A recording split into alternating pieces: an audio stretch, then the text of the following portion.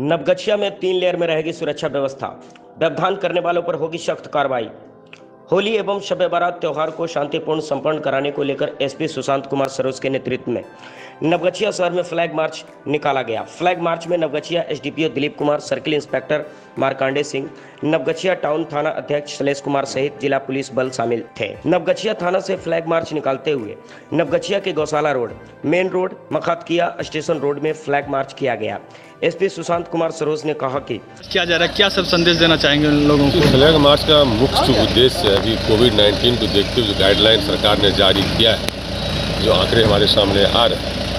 उसमें जो गाइडलाइन दिया गया, जो निर्देश भी दिया गया बड़े जो पदाधिकारी, कि सभी सोशल डिस्टेंसिंग का अनुपालन अवश्य करें मास्क भी पहने और होली जो खेलते हैं, वो कोई पब्लिक प्लेस पर ना खेलें। अपने घर में जो उनके परिवार के लोग हैं, उनके साथ खेलें। जितना परहेज वो कर सकते हैं, क्योंकि तो बहुत से हमारे भाई बंधु दूसरे स्टेट से भी आएँगे और यदि वो पब्लिकली मिक्स करेंगे तो संभावना है कि मतलब इसका फैलाव बढ़ेगा। तो आपके माध्यम से मेरा अनुरोध यही है कि जो भी लोग हैं होली अवश्य खेलें। होली अवश्य खेलें इसमें कहीं कोई परहेज नहीं है। केवल कोविड नाइन्टीन जो गाइडलाइन है उसको दिमाग में रखते हुए जितना अवॉइड करें बाहर होली खेलने से पब्लिक पे होली खेलने से। दूसरा इसका उद्देश्य ये भी है कि यदि मेरा कल सबेरात भी है ना और कल होलिका दहन भी है तो मेरा विश्वास दिलाना है आम आदमी को भी कि अपने वो अ, बिना कोई भय का है ना बिना कोई भय का अपना दोनों अलग जो समुदाय के लोग अपना अपना पर्व अच्छे से संपन्न करें और जो भी इसे डिस्टर्ब करने की कोशिश करेंगे थोड़ी भी कोशिश करेंगे उनको बहुत बड़ा महँगा पड़ेगा हम उनको चिन्हित करेंगे और हम उनके खिलाफ सख्त कार्रवाई भी करेंगे। अभी फ्लैग मार्च कहाँ से कहाँ तक जाएगा सर? अभी हम लोग पूरे बाज़ार हम लोग घूमेंगे पूरे बाज़ार में फ्लैग मार्च हम लोग घूमेंगे। मैन सर होली का उद्देश्य है सार्वजनिक स्तर से ना खेला जाए।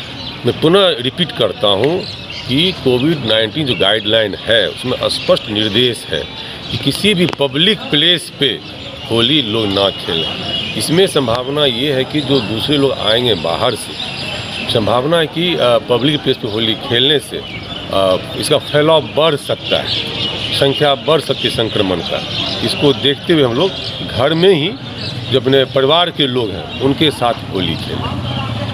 होली एवं सभ्य बारात त्यौहार एक साथ होने के कारण पुलिस ज़िले में सुरक्षा के पुख्ता इंतज़ाम किए गए हैं। पुलिस ज़िले के सभी थाना क्षेत्रों में इसको लेकर पर्याप्त पुलिस बल की प्रतिनियुक्ति की गई है। सुरक्षा के मद्देनजर तीन लेयर बनाए गए हैं। एक लेयर की ज़िम्मेदारी एसडीपीओ दिलीप कुमार को दी गई। इसके साथ है, इसके जोन वाइज पदाधिकारियों को बैठकर अपने अपने क्षेत्र में विधि व्यवस्था संधारण की ज़िम्मेदारी दी गई है। बीरपुर सर्किल की ज़िम्मेदारी डीएसपी मुख्यालय असरार अहमद को दी गई है। इसके साथ में दोनों सर्किल में बाइक से मॉनिटरिंग करने की व्यवस्था की गई है। अलग से भी फोर्स को सुरक्षा व्यवस्था के लिए लगाया गया है। एसपी ने त्यौहार को लेकर लोगों से अपील की है कि त्यौहार को शांतिपूर्ण वातावरण में मनाएँगे।